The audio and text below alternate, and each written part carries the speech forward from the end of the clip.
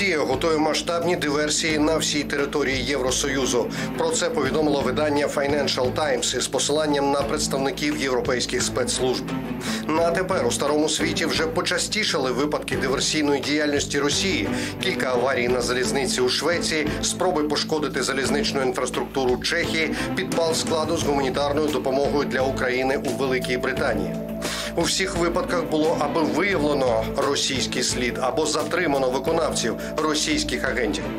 На досягнутому РФ не зупиниться. Цитує Financial Times представників європейських спецслужб для підготовки нових диверсій і терактів. Москва надсилає до Європи нових агентів, вербує представників російської діаспори в ЄС, у тому числі криміналітету, або ж навіть знаходить місцевих жителів, які симпатизують всьому російському від балету до очільника. Роботу вербувальникам полегшує розвинена мережа агентурних активів від окремих агентів під прикриттям дипмісій до культурних центрів та навіть гуртків, які є частинами глобальної мережі російського впливу.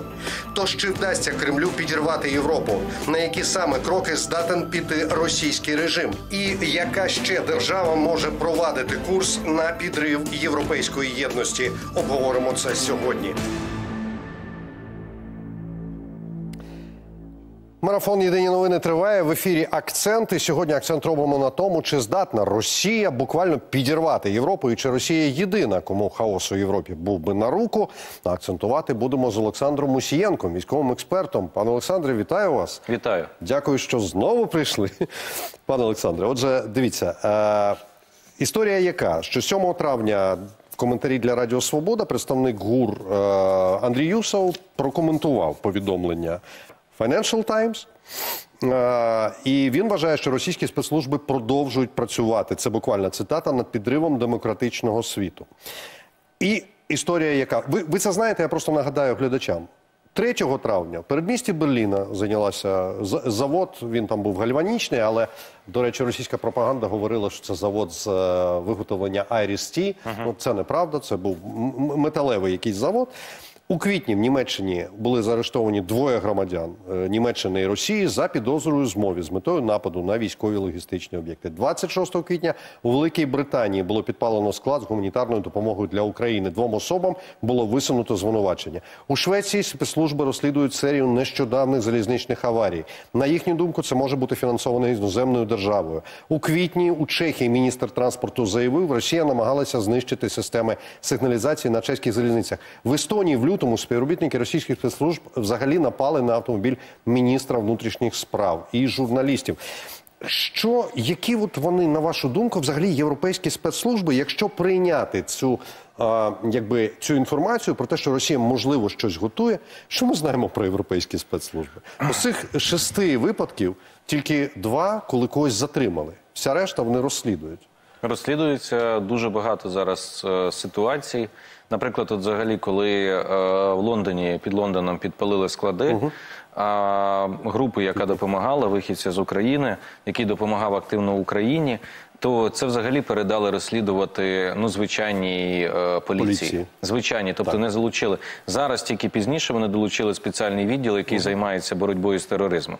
І до речі, вийшло на те, що двоє із людей, які громадяни третіх країн підозрюються, можуть бути входити в Вагнер груп, як вони кажуть. Тобто, це фактично вагнерівці, і вони діють там. Що стосується загалом ситуації, бачите, що за роки ось цих відносин з Росією, які були у європейців, і вільного більш-менш пересування, хоч і з візами, але вільного для громадян Росії дуже багато людей заїхало, дуже багато людей оселилося І ніхто не контролював цей не потік. контролював. Ну певною мірою контролювали, звичайно, впливи ці всі відстежувались. Але що відбулося далі? Наприклад, от е, взяти 22-й рік, коли величезна кількість людей почала їхати з Росії, коли Путін оголосив мобілізацію. Достатньо 10%, 15%, щоб із цих людей були агентурою ФСБ або ГРУ, або СВР, яка заляже на дно, тобто із цієї маси, і все. І зараз от європейці дуже стурбовані, тому що вони розуміють, що вони запустили багато людей. Зараз вони розуміють, що є сплячі агенти. Я мав розмову, знаєте, з різними людьми, в тому числі які вже дещо в віці, і бачили холодну війну і мали досвід, скажімо, протиборства. І зараз вони кажуть, що це все відроджується. Раніше вважали параноїками, каже нас, коли ми в 90-х попереджали і в 2000-х, що це буде. і казали, ну що ви тут розповідаєте? сміялися, так? Ідіть уже в сенсом займайтеся на пенсії, вже там займайтеся іншим. А зараз кажу, що? А зараз ми бачимо наслідки. Тому зараз от е, дуже нелегко БНД. Німецькій розвідці, контррозвідці, вони дуже так активно взялися. Чому? Тому що подивіться в Баварії, коли двох затримали. Чому Баварія? Баварія це місце, де розташовано багато підприємств оборонної промисловості. Є ще там туди далі Дюссельдорф, туди далі Західна Німеччина. Але тут дуже багато їх. Вони відповідно там є.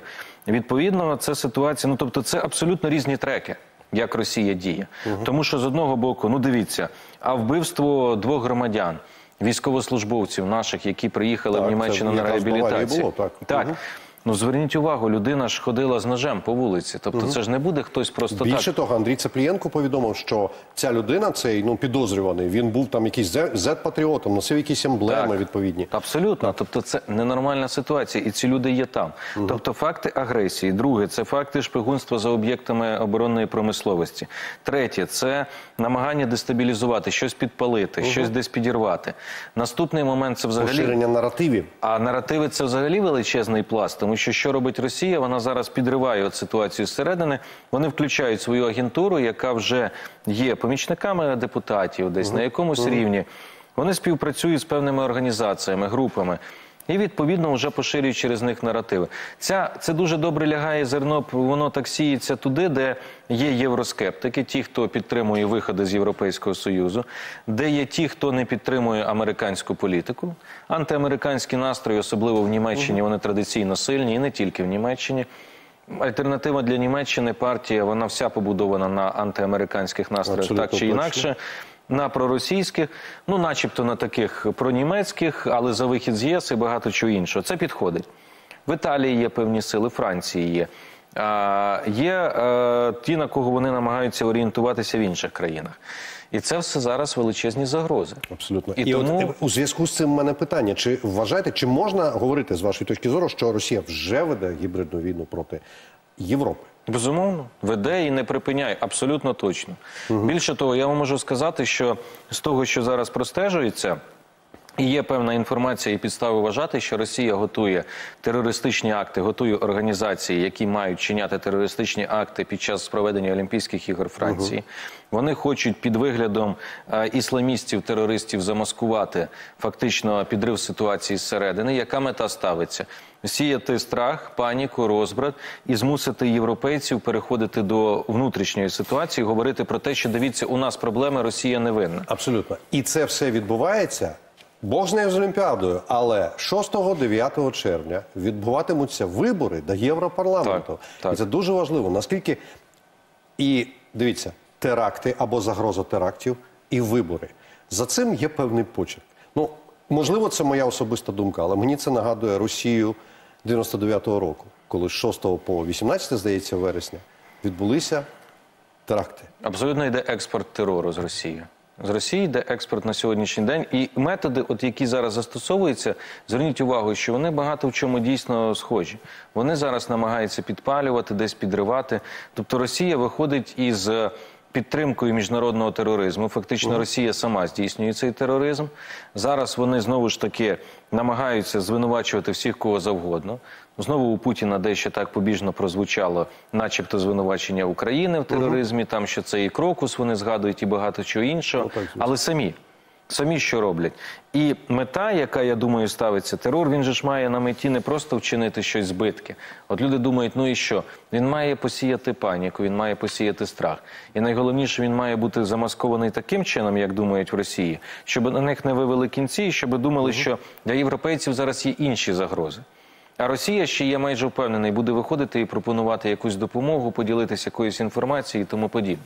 Але те, що вони зараз намагаються дуже серйозно на це впливати, і про це пише Financial Times, і те, що ця інформація вона є, гуляє між розвідками, розвідувальними співтовариствами, це є факт. Додайте до цього країни Балтії, додайте до цього зміна GPS-сигналів, додайте до цього підриви кабелів, пошкодження кабелів, які йдуть мережеві інтернету по дну Балтійського моря, а газопроводи і так далі. Все, що відбувається. Електроенергія, тобто Росія, фактично, ну країни Балтії, Північної Європи, вони так і заявили, що загрози від Росії тут колосальні, і треба щось щось робити, контролювати. Тому що там е, є дуже великі виклики. Чи розвивається ця ситуація? Чи складається у вас особисто враження, що закручується оця воронка? А з боку Росії так, вони, вони закручують. Я це бачу. Я бачу, що у них є певні плани, все ж таки. Ну тобто проти України зрозуміло, вони ведуть війну класичним Головна методом. мета зараз від'єднати нас від допомоги. Від'єднати, роз'єднувати Європу. Роз'єднувати Європу. так. Тобто, дивіться, що означає? Ну, дивіться, така ситуація. Вчиняється теракт. Один, другий, третій, наприклад. Постає що? Особливо от зараз напередодні виборів Європарламент. Питання міграційної політики. Безумовно. І Росія теж долучається до Так. цього питання. Ми пам'ятаємо Польщу, ми пам'ятаємо Фінляндію, оці атаки. Міграційна навали. політика, що це роз'єднує? Це піднімає питання, наприклад, для ультраправих, які кажуть: слухайте, так у нас неправильно проводиться. Щось треба робити, голосуйте за нас. Ми знаємо, як це робити. Це через те, що ми занадто захопили зв'язками з Америкою. Це через те, що ми вкладаємо кошти в оборонку, не захищаємо власні кордони, наприклад, італійці там і так далі. Хоча Це, вони це скеровано на, е, на абсолютно на розділення Європи. Абсолютно, це, це абсолютно розділ. Тобто вони прагнуть а, розділити Європу і відірвати Європу від Сполучених Штатів. Це основна мета, яка є. І ці плани вони переслідуються Росією системно. Це абсолютно системна робота, яка спрямовується. Де в цій схемі Україна, на ваш погляд? А в схемі цій Україна за задумом Росії Україна в цій схемі має в результаті програти через те, що Європа не буде підтримувати, і стане підтримки? частиною Російської імперії в тій чи іншій формі, Там, або зберіг зберігши а, умовну Певні якусь території, незалежність, так, якісь там бутафорну, так як є, наприклад, в Білорусі, або й навіть не зберігши. Ну це вже питання. Тобто, це. е, План задум. Ну тут ще є, я думаю, ще інші гравці, які теж зацікавлені в тому, щоб це все було саме так. І тоді можна торпедувати Європу, роздробити її єдність, повернутися до політики, яку хоче Путін, політика альянсів 19 століття. І давайте великі держави будуть між собою вирішувати долю малих держав, як вони кажуть. Тому що зараз немає великі і малі держави. Зараз є Європейський Союз, де кожна держава, навіть найменша, має право голосу. І без цього найменшого голосу рішення не може бути ухвалене, як би там не було. Там півтора мільйона населення, як в Словенії, чи 80, понад 80 мільйонів, як в Німеччині, немає значення. А Росія хоче, щоб це мало значення. І тоді що? І тоді можна дійти до наступного, так як було раніше е, колись в історії, що давайте ми будемо ділити країни Балтії, кому відходять. А Чехія до кого має належати і так далі. Розумієте, що вони хочуть це підірвати, і тоді, а тоді Росія ще й запропонує, скаже, так давайте ми вас спробуємо ще й помирити. Ну тобто, ось такий сценарій. І ще одна подія, на тлі підготовки, до якої відбувається вся ця історія, про яку ми зараз говоримо, це саміт миру а, у Швейцарії, який відбудеться 15-16 червня. І дуже важливо для України, для нас, е, щоб, по-перше, прибули представники якомога більшої кількості держав. По-друге, дуже важливо, щоб прибули представники певних ключових держав. І третє, дуже я сподіваюся, важливо, щоб на цьому саміті було досягнуто певного консенсусу. Зараз не будемо вдаватися а, з чого саме е, приводу, але ну ми розуміємо, що це українська формула миру. Питання не в цьому. Чи здатна російська діяльність, скажімо так, активність у Європі вплинути, зрештою, на позиції деяких країн, наприклад, Євросоюзу на саміті миру? Це для нас буде болючий удар, якби так сталося. Ви знаєте, що це дійсно може бути президент України Зеленський казав про те, що Росія вживає всі заходи Так, і спроби. так. Чому розумієте, от багато хто прив'язується до практичних наслідків. Я розумію людей. Всі ж чекають, що ці конференції вони мають закінчувати чимось практичним, чимось корисним для нас. Ну, Насправді, Але перше навряд чи. звичайно, і тут треба Він пояснити. інаугур... інаугураційний Так, але саміт. в чому, але в чому колосальна суть і значення? В тому, що це безпрецедентна все-таки подія. Уявіть собі, понад 100 держав, 150, 160 збирається обговорювати саме Ну, зараз українську. 80-100. Ну, так, побачимо. так. Сподіваюся, що все ж таки воно. І Тим не менше. Взагалі, це дуже важливо, тому що ну, величезний клуб держав обговорювати український план. Ну і це дуже важливо, тому що вже принаймні, нехай вони не з усім згодні. От, наприклад, кожна держава бере і акцентує увагу на якомусь одному пункті там, а, і вони вкладаються це, і вони вклинюються в цю роботу. І звичайно, що а тепер дивіться, порівняйте. Отут збираються, обговорюють український план і говорять, і, і приїжджають послухати Україну і обговорити цей план, який базується на нормах міжнародного права. І є Росія.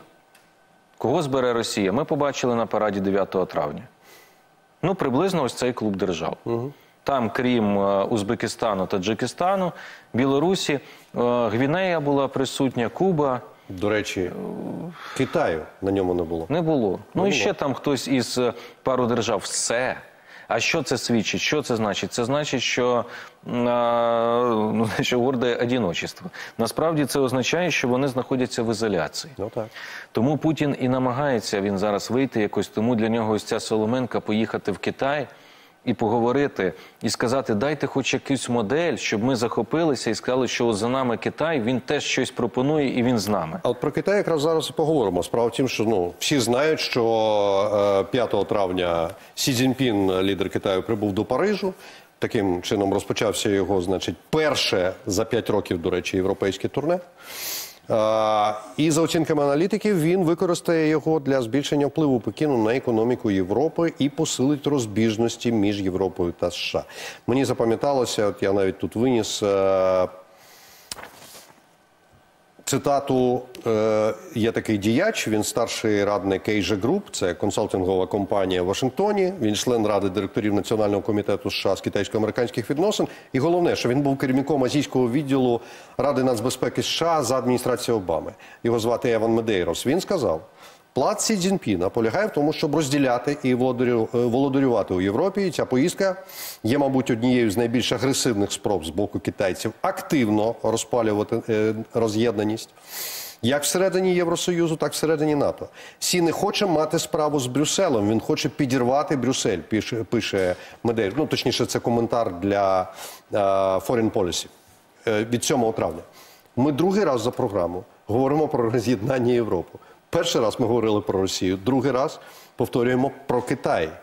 Чи вигідно Китаю роз'єднувати Європу і мати справу з з різними царствами, та як бувало в історії. Ну, Ну, я так. скажу, що план Китаю все ж таки більше полягає в тому, щоб роз'єднати США і Європу, і Європейський Союз. Мгм, От для них це для них це найважливіше. Чому? Тому що в принципі їх Європейський Союз як такий він влаштовує. От, тобто, щоб вони працювали, співпрацювали, закуповували щось.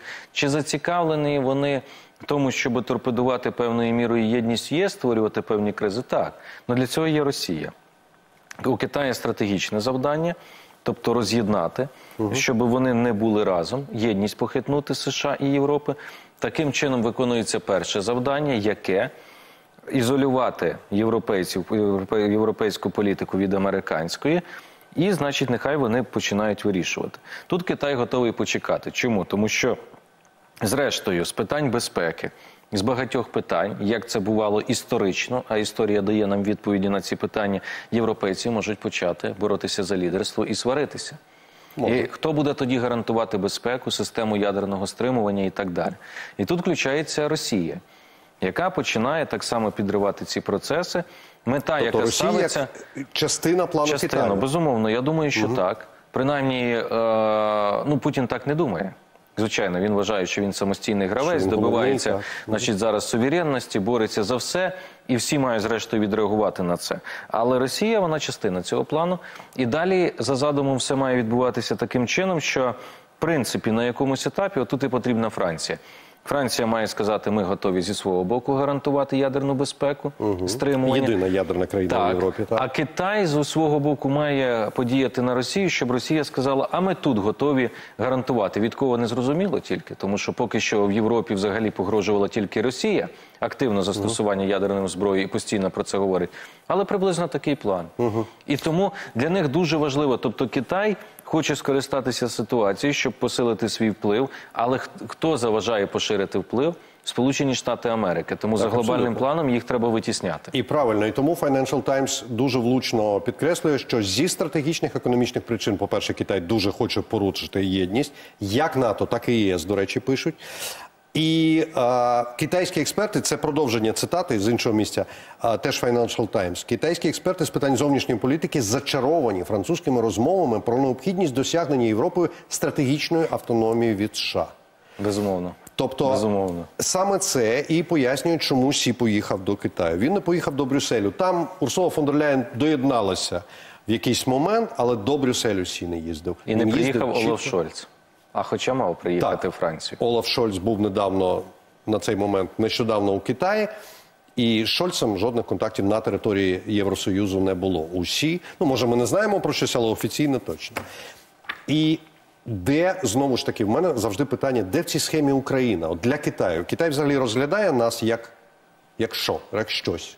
Китай справа в тому, що Китай досить е, довго сприймав Україну через призму російської Безумовно. політики і інтересів. Або От, радянської от вам і відповідь.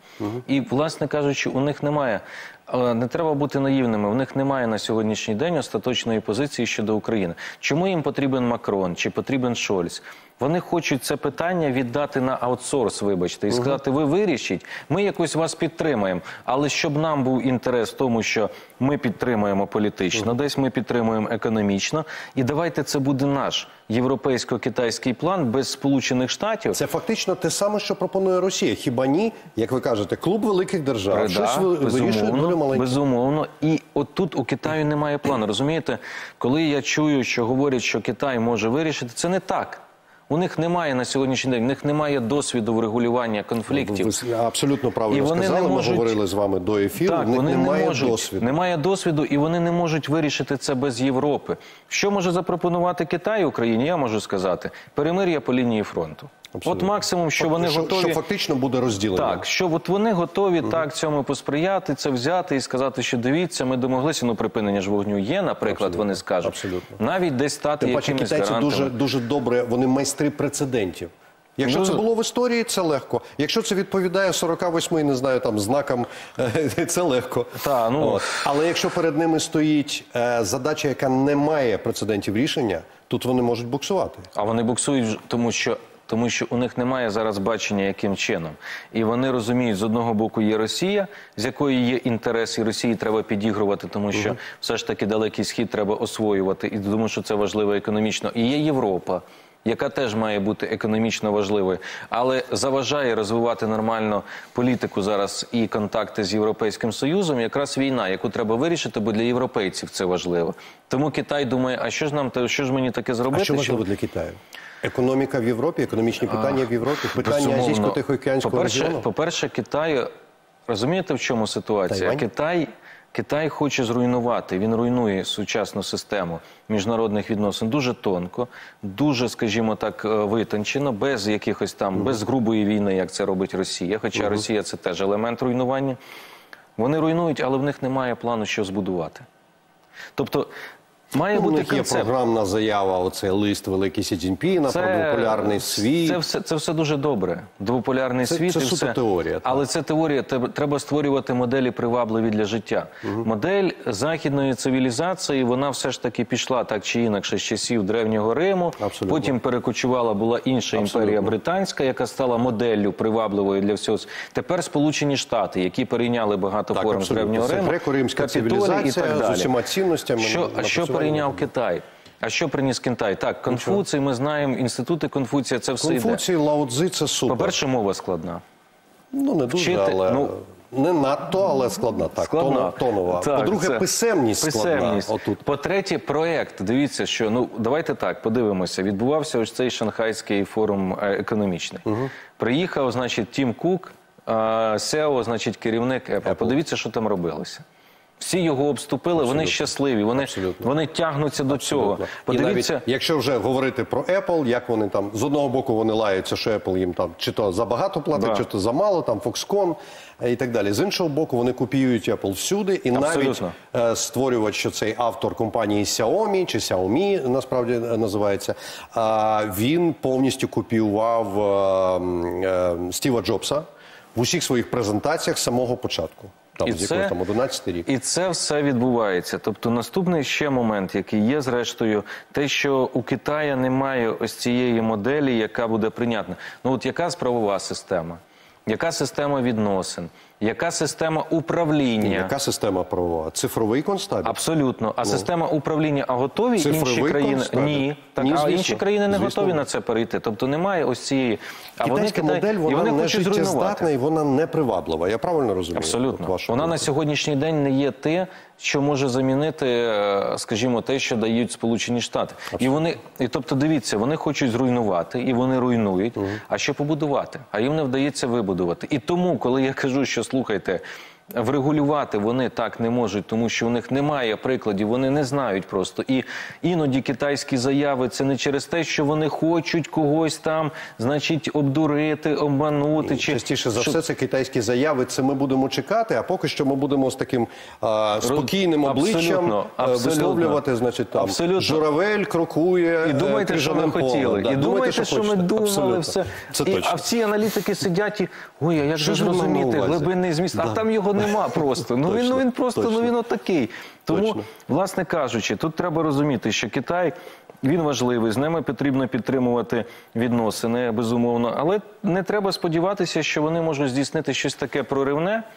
І, власне кажучи, тому що я вже зараз чую, що от зараз Китай домовиться з Францією, ще з кимось, і вони точно натиснуть на Росію, і точно Путін все припинить, і точно все буде гаразд. Ну, Китай же сказав, що він поважає територіальну цілісність. Але Китай сказав у мирному плані, що він підтримує територіальну цілісність, суверенітет України виключно, включно в 91-го року кордонах. Не зовсім. Не зовсім. Вони зробили розмите формулювання. Так. так ми підтримуємо. Ну, ми колись теж на акценті дійшли до того, що взагалі для китайців е, цілком природним е, в їх історії, в їхній історії, е, з їхньої історії може здатися поняття васальна держава. Знаєте, багато Так. держав в Азії були васальними. Так, абсолютно. Наприклад, Окінава японська. Там була е, держава, яка була васальною, була васальною е, до Китаю. Дивіться, щодо дипломатії. Отже, ми бачимо гру двох дипломатичних, таких високодипломатичних. Дипломатія от кутюр, чи як там, от дипломат. Франція, ну це просто е, напевно батьківщина сучасної дипломатії, так і мова дипломатії, наскільки я розумію, Французька, досі так. французька. Китай, який в принципі має таку оцю трошки е, туманну, таку, але традицію дипломатичну. Два дипломати Сі і е, Макрон, е, якби зустрілися. Франція прагне чого? Підтримати політично. Економічно в них є свої запроси. Вони- не хочуть китайських електрокарів, тому що в них є свої французькі, Рено Peugeot і щось іще. І вони хочуть імпорту в Китай своєї алкопродукції, як не дивно. Коньяку, вин. У китайців, до речі, дуже за останні роки дуже розвинули винну, винокурні, винну промисловість. Політично, чого би хотіла Франція? Адже у Макрона є політичні претензії, політичні прагнення. Макрон хоче вибудовувати, він хоче формувати політику, а не просто економіку. І він хоче, і він, Він хоче продемонструвати. він запропонував е, спільну армію. європейську. Абсолютно. Ну і ну але це, це стара ідея. Вона ну він хоче, він хоче дійсно європейського лідерства. Він хоче його закріпити. Немає жодних загадок. Коли французький президент починав вступив на посаду після інавгурації, його запитали, яка буде ваша зовнішня політика. Деголь і, І Мітеран. і Мітеран. Тобто він сказав, що це буде така от суміш, і він намагається це проводити. Тобто, що означає, що східна політика, яка має бути присутня, і політика на лідерство. В Європі, і от зараз Франція прагне е, от взяти це лідерство. Вони перехоплюють. Вони говорять про те, що ми хочемо. Макрон каже, що ми хочемо забезпечити політику безпекову, оборону, забезпечити сталий мир в Європі, забезпечити нормальні відносини торгівлі і забезпечити роль європейських країн більшу, скажімо так, порівняно зі Сполученими Штатами безпосередньо а, тут. Це він все проголошує. І наступне, що він хоче, ну він запропонував принаймні зараз, е, що, що можна зробити, війська відправити в Україну. І він формує політичну таку серйозну політичну Агенду, формулу. повістку, так. так, він її сформував. Він каже: от, а Китай ну дивиться і думає: ну так, бачите, от він сформував, треба подумати нам, можливо, ми підтримуємо. А поговоримо про економіку, тому що треба про економіку говорити з Парижем. Так вони думають. Чи може Китай, чи може Сі а, співставляти свої, ну якщо не дії, то принаймні свій курс щодо Франції з Росією. Чи може він слухати Путіна щодо французів, щодо Макрона, щодо пропозиції Макрона ввести війська в Україну? Чи може Путін шепотіти на вухо Сі? Ну, а, щось він може, звичайно, щось він буде щось розказувати. Але питання в тому, що я думаю, що на рішення Макрона тут мало буде хто впливати. Я маю на увазі Китай. Безумовно, чи... безумовно. Я про те, якби він- чию експертизу може е, е, використати Китай. Ну я думаю, що Китай для Китаю взагалі, тобто Китай може бути діяти в тій же площині, що не треба вводити війська, тому що це політика одностороння, підтримати ось тут Росію в тому сенсі, що це НАТО, не можна там це провокує і так далі. Ну і він же ж він ще кого міг послухати? Він же ще заїхав до Орбана. Так, А там поїхав. будуть нашептувати там про те, що не можна. Уже Сіярто зробив заяву, міністр закордонних справ, що ми не підтримуємо фінансування України через НАТО, бо це неправильно. НАТО перетворюється в наступальний блок перед візитом Сі Цзіньпіня. Риторика абсолютно співпадає, збігається, не можна односторонніх дій. А на що скаже Макрон? Він скаже: а НАТО не буде жодних військ вводити. Буде Франція і коаліція держав разом з Францією. Дайте нам вирішити це. У вас же немає рішення. У Китаї ж немає рішення, що у робити. нас є. А у нас є. І ми запропонуємо, ми покажемо. А ви підтримайте. Бодай не заважайте в цьому. Стосовно, ви згадали про маршрут Сі Цзіньпіна, а Угорщина. Ну там найбільша в Європі діаспора китайська в Будапешті. До речі, я би з точки зору на, на- на місці мадярів, е, угорців трошки, трошки уважно би до цього поставився. Але чому Сербія? Е, Дуже просто, тому що, по-перше, е, Вучич і його політика скеровувалась на те, що треба з Китаєм взаємодіяти потужно. Вони взаємодіють. А Сербія, Сербія єдина, хто купив фактично китайські системи ППО в Європі, хто зважився на це. Їм поставили. По-третє, ну там вони будують амбітний проект Будапешт, е, Білград, залізницю, Китай швидкісно. Ну, це як продовження одного Так, поті... ну, там, цього значить, буде, пасу там, там буде прекрасно. От, і е, Сербія намагається балансувати. Плюс е, Сербія зараз зрозуміла, що Росія їм нічим не допоможе. Треба з кимось все ж таки блокуватися, це Китай. Ну і от вони проводять ось цю політику. Плюс Сербія доволі таки антиамериканська ж країна в Європі, але антиамериканська дуже підходить. Вони там, Сербія взагалі, скажімо, у Сербії дуже цікаво, тому що економічно вони розуміють, що їхнє майбутнє з ЄС. Ну тут серби чітко розуміють, що яка Росія, ну це географічно Тим неможливо. паче молоде покоління. Звичайно, вони всі за ЄС. Не взагалі там в Сербії не сидять, наскільки я знаю. Вони їдуть. Їздять я- так, ну там так, це дійсно так. І в принципі Вучич це розуміє. Інше питання, що політично, коли згадують і історично, для них ось це православ'я, для них 99-й рік. Білград, це все НАТО, це все Америка була, і значить, і починається, включається. І тому, власне кажучи, але треба знайти когось, ну от не Росія. Ну хто це буде? Це Китай. А і через Балкани. Ви ж розумієте, Балкани це такий регіон, де стільки було історичних хитросплетінь, хто там стільки не працював, які розвідки, які впливи. І для них зараз от використовувати цей майданчик для певних дій, ну звичайно важливо для Китаю. Дивіться, е, ви вже говорили про те, що Китай ймовірно веде свою гру і е, ну навряд чи чи може в меншій, в меншій мірі якось там зглядається на Росію. Але чому тоді маршрут Сі, ну крім Франції, можливо, дивним чином пролягає крізь країни, які схильні до Росії, схиляються? Орбан в Угорщині. Ну хіба що він в Сл- Словаччину не заїхав до? Ну він це я скажу, що це не просто там Це співпадіння, Це чи не це якісь- просто тих, хто схиляється до Росії, це ті, хто має альтернативну точку зору на сьогоднішній день. зору. Роз'єднувати. Правильно, ми треба знову приходимо при- до- звичайно, треба вбивати клин, треба роз'єднувати, треба підливати масло в вогонь, треба давати майданчик. А знову ж таки, як у Орбана поєднується дружба з Китаєм і е, дружба з Трампом. Це взагалі, ну це треба умудритися. звісно. Це треба умудритися, щоб так, значить, на два фронта Ну, Думаю, шуміти. що так, не всидить. Ну а і е, для чого це все робиться? Дуже просто: вбивати клин, роз'єднувати, піднімати гарячі теми. Знову ж таки, обіцяти багато європейцям. Китай же не один раз робив захід. Вони робили потужний захід так само в Італії, в Греції. А в Італії вони зробили там рішення, деякі відіграли назад про порти в Геної і не тільки. Тому що там були інвестиції дуже доволі таки серйозні. Вони ж хочуть, вони ж заходять на порти, на портову інфраструктуру, на ворота якраз от морські. І хочуть контролювати. Тому зараз я думаю, що Китай заходить якраз в ті держави, які потенційно мають іншу політику, ніж має Брюссель, більшість, і відповідно намагається через них розхитувати ситуацію. І ось ну вони користуються, вони намагаються хоч щось схопити, ну хоч десь, хоч хтось з кимось, якусь Ні, країну. вони, вони завжди намагалися відхопити від європейського цього пирога, хоч щось, як ви правильно сказали. так. Вони відхопили там, типу, автовиробників е, під час кризи 2008 року. Автовиробників, е, частина Volvo була продана да, концерну.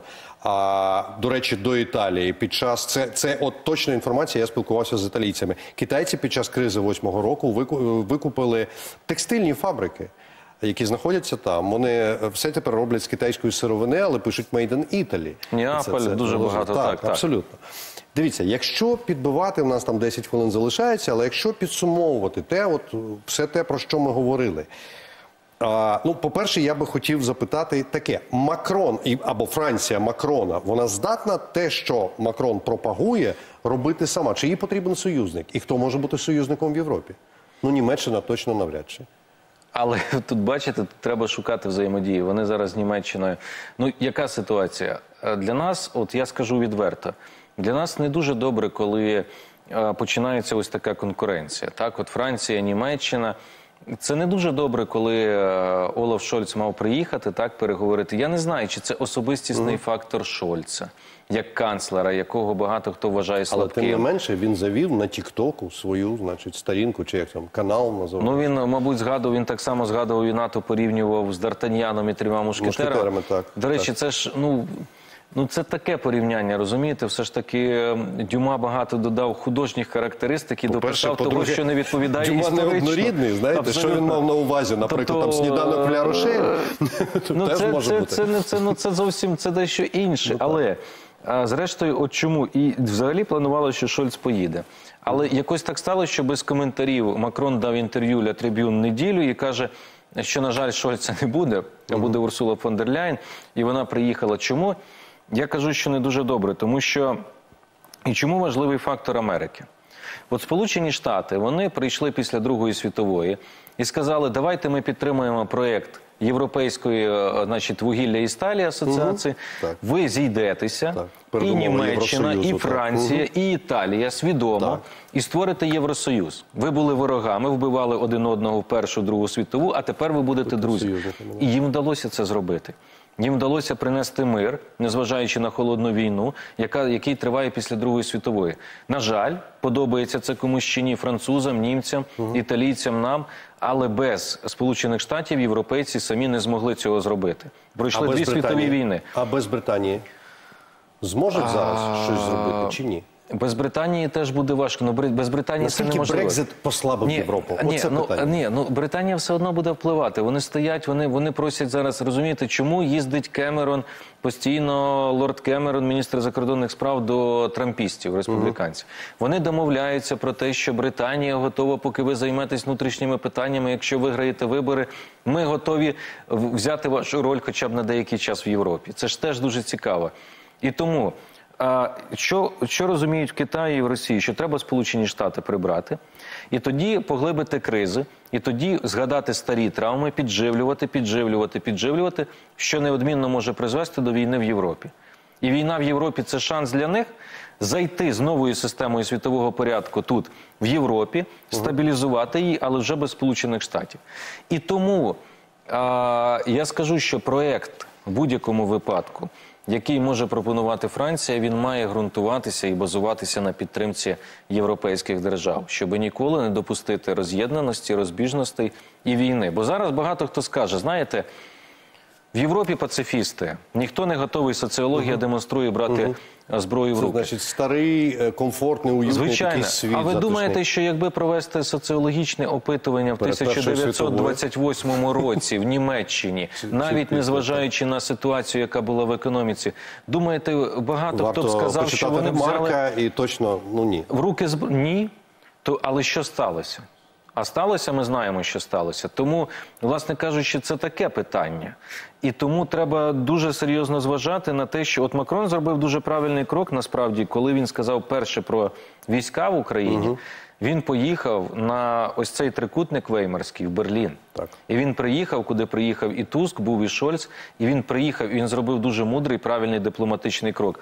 Він показав, що думка Німеччини важлива. Незважаючи на те, що німці не підтримують ідею відправки військ в Україну і передачі ракет Таурус. Але він це продемонстрував. Далі пішло все Тобто він показав себе як мудрий дипломат. Абсолютно. Він абсолютно він зробив. От він зробив, до речі, якщо говорити про лідерство в Європі, він вчинив, як би мав вчинити лідер в Європі. Не грати на роз'єднання, а наша думка нас не цікавить і все поглиблювати, Так. а навпаки, об'єднувати. Якщо взагалі сухий твердий підсумок е, нашої розмови, чи реально загрожують ЄС теракти, чи все ж таки Росія використовує цю інформацію, ці ПСО для шантажу?